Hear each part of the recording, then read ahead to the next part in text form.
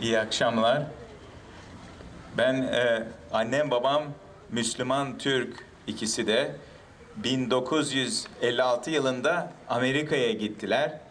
1950 yılında ben orada doğdum. Yani 54 yaşındayım. Sonra 4 yaşındayken Kanada'ya taşındık. Orada Fransızca bölümünde oturuyorduk. Ve orada babam doktordu. Ben de küçük çocukken hep böyle babam gibi hani doktor olmak istiyordum. Bir gün 9 yaşındayken e, babam beni hastaneye götürdü. Orada müdürünle tanıştırdı. O bana dedi sen büyüyünce ne olacaksın dedi. Ben dedim işte babam gibi doktor olacağım dedim. Ve hep o zamandan beri hayatımda, e, yaşamımda en önemli şey böyle büyüyüp babam gibi işte doktor olmak.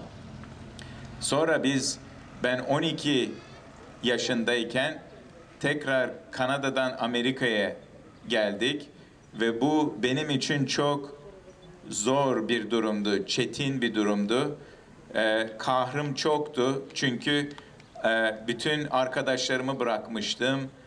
Ee, yeni bir dil öğrenmem gerekiyordu, İngilizce öğren öğrenmem gerekiyordu ve e, çok kahrım vardı ve her gece dua ederdim. Allah'a, Allah bana yardım et. Ben yani yalnızım, e, sevmiyorum burayı. Yani 12 yaşındaydım.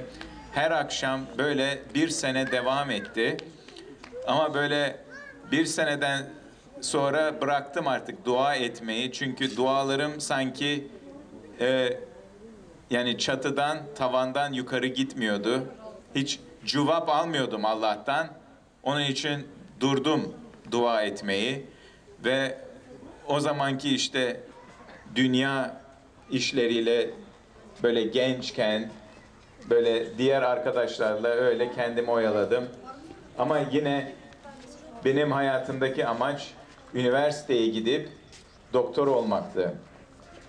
Ondan sonra zaman geldi, bitirdim koleji. Gittim üniversiteye dedim ha tamam dedim işte şimdi zamanım geldi ve ben burada üniversitede okuyup doktor olacağım. Fakat baktım dersler bana çok zor geldi, yapamadım. Ve bu benim için büyük bir e, üzüntü oldu yine.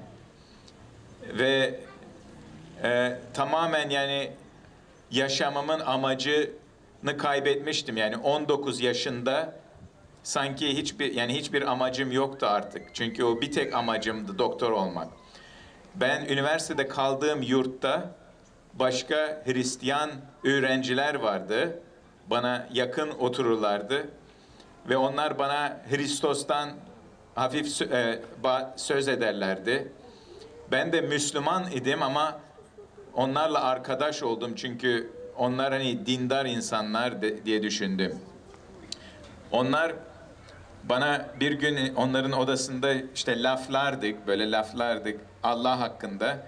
Ben dedim insan e, Allah birdir dedim ama insan değişik yollardan gidebilir Allah'a dedim. Ve orada bir çocuk dedi e, Allah'a giden bir, to- bir tek yol vardır. İsus Kristos'tur dedi. İsus Kristos'tan başka yol yok dedi. Ve o söz sanki böyle yüreğime saplandı. Çünkü hiç duymamıştım önce. Hiç kimse bana söylememişti. Ve düşündüm acaba bu doğru mu diye. Fakat ondan sonra fazla düşünmedim. Ee, bu Hristiyan arkadaşlar bana işte broşür verdiler okumam için ama ben kabul ettim ama okumadım. Ondan sonra ben bu hayatımda yine bir boşluk vardı. Çünkü doktor olamıyordum ve kendimi başladım bu 1976 yılında böyle Marksist kitaplar okumaya. Böyle Marksist düşüncelere böyle girmeye başladım. Ondan sonra bu beni daha da düşman etti Allah'a karşı. Ve ben bir gün bu Hristiyan arkadaşlar baktım şeydeydi. Benim odamın dışında yürüyor duruyorlardı. Ben çıkmak istemedim. Çünkü onlar yani benim için Allah'ı temsil ediyorlardı ve ben yani Allah'tan kaçıyordum. Sonra o okulu ben terk ettim başka üniversitede gittim. O başka bir şey okumak için ve yine yurtta bir Hristiyan vardı benim yakınımda. O da benimle konuşmak istedi ve ben dedim ona Allah yoktur dedim. Ben you know Marksistim dedim. Öyle e, dedim Allah böyle insan insanların opyumudur falan dedim. Öyle şeyler söylüyordum ona. Böyle e, kızdırıyordum ama o yine bana biraz anlatıyordu. Bir gün onun odasına ge- geldim. Onun e, masasında bir kit- e, kitap vardı böyle. Biblia değildi ama başka bir Hristiyanski bir kitaptı.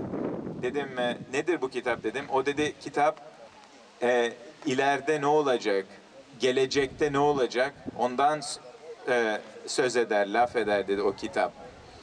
Ondan sonra ben düşündüm yani hiçbir kitap ileride ne olacaktan bir, şey söyleyemez diye düşündüm. Ben alıp onu hani alay edecektim onunla. Dedim verir misin dedim kitabı. O dedi sen dedi yok dedi sen verimli toprak değilsin dedi. Ama ben yine aldım o kitabı. Gittim odama oturdum. Birinci sayfasından başladım okumaya. Ve orada öğrendim ki İsus Kristos tekrar gelecek bu dünyaya. Ve o kitap bana anlattı niçin Hristu- e, İsus Kristus geldi. O çarmıhta yani günahlar için öldü. Benim günahlarım için öldü. Ve okudukça Allah yüreğimi açtı ve yüreğimde e, bana inan verdi ki İsus Allah'ın oğludur. Ve ben çok böyle sevindim ve hayatıma yeniden anlam geldi ve sevinç geldi. Ertesi gün ben o kitabı götürdüm arkadaşıma dedim. Ben inan ediyorum şimdi dedim. Peki dedi.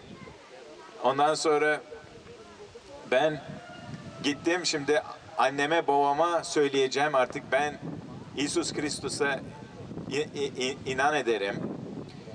Ondan sonra gittim. Ben Chicago'da, Amerika'da Chicago'da bir e, Biblia buldum. Türkçe bir Biblia. Ve götürdüm işte anneme babama söyleyeceğim. Ben düşündüm, onlar da sevinecekler çok. Biraz saf düşünce ama öyle. Gittim ve babama söyledim. Babam bana kızdı. Dedi sen sen artık Türk değilsin. Sen bizi bizi sırtını dönüyorsun. Sen artık Türk değilsin.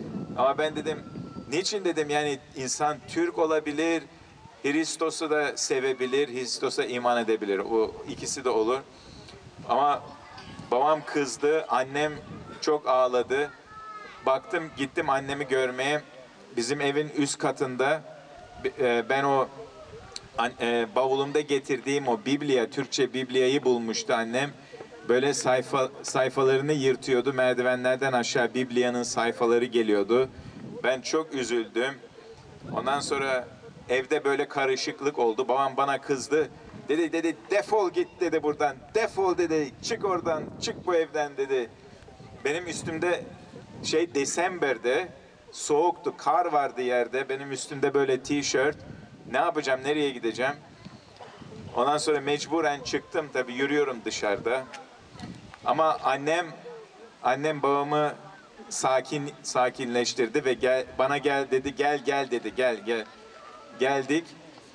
Aa, çok böyle zor zamanlar yaşadık ama ya, yani e, hiç pişman değilim. Hiç pişman değilim çünkü Hristos e, beni kurtardı. Ve bitirirken size bir yeni bağlantıdan, Allah'ın sözünden bir şey okumak isterim.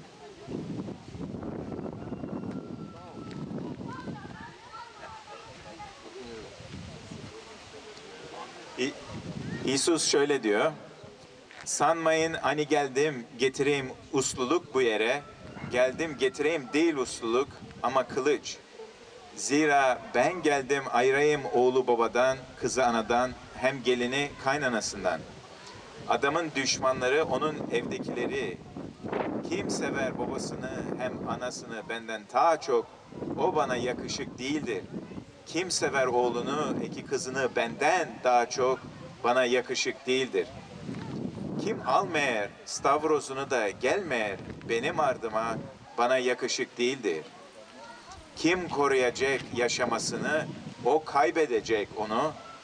Ama kim kaybedecek yaşamasını benim için o yaşamak edenecek. Amin. Çok sağ ol bizim kardeşimiz. Hani sen bile bir güzel şartlık bize verdik. Biz gördük hani Allah onun yaşamasını değiştirdi. Onu babası annesi istediler dışarı çıkar, e, sıvıtma. Soğukta kar, kışın soğuk ama biz görüyoruz hani Allah onu çok korudu. Yıkmak için geldin mi İsa'ya? Yıkandın mı onun kanında? Kendini verdin mi yüzde yüz ona? Yıkandın mı onun? Kanında,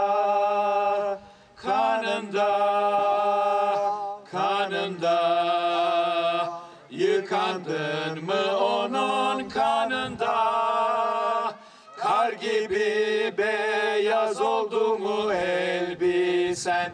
Kuzunun o kutsal kanında. Bırak günahla lekelenmiş giysini Temizlen kuzunun kanında Çünkü var bir pınar pak ve sürekli Gel yıkan bol akan menbada Kanında, kanında. Yıkandın mı onun kanında? Kar gibi beyaz oldu mu elbisen? Kuzunun o kutsal kanında.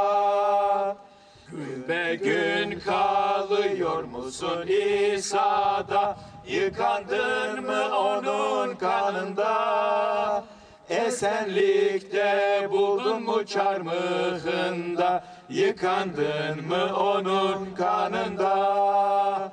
Kanında, kanında. Yıkandın mı onun kanında? Kar gibi beyaz oldu mu elbisen? Kuzunun o kutsal kanında bir gün Rabbi gökten tekrar iner Seçilmişlerini almaya. Olacak mısın onunla beraber? Yıkandın mı onun kanında? Kanında Kanında. Yıkandım ben onun kanında Kar gibi beyaz olmuştur elbisem. Kuzunun o kutsal kanında.